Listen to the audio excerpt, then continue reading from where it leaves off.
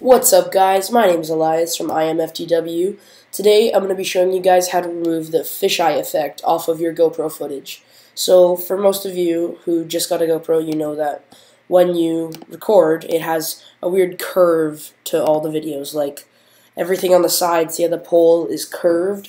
What you're going to want to do, obviously, is you're going to want to remove that curve effect. It's really quite simple. So you take your footage, um, we're actually going to put that aside for now. So first things first, you want to open up Safari, uh, your web browser, go to GoPro, go to the GoPro website. When you're here, you just want to hit Products, Software and App. Then you scroll down, GoPro Studio 2.0 Edit Software. Download now, and then it'll have this selection thing where you select your operating system. I don't recommend checking either of those unless you actually do want emails from GoPro about new mounts and accessories and new cameras. Anyway, I don't think it's relevant for me. Um, so once you've downloaded and installed that, you want to open it up. Now, first things first, you import new files. I'm going to get the Polar Bear Swim file. Oh, I think I grabbed the wrong one. That one looks like it has it. Uh, get rid of this. Quite simple. So first things first, you want to open up Advanced Settings, hit Remove Fisheye Effect. It's as simple as that, really. Then you want to move, drag that to High. I always just, I, I, I this has never really worked for me. I always have to do it every single time. Remove send, so remove fisheye.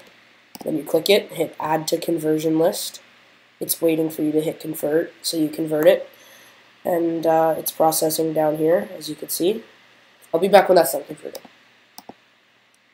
Hey guys, I'm back, and as you can see, it's completed over here.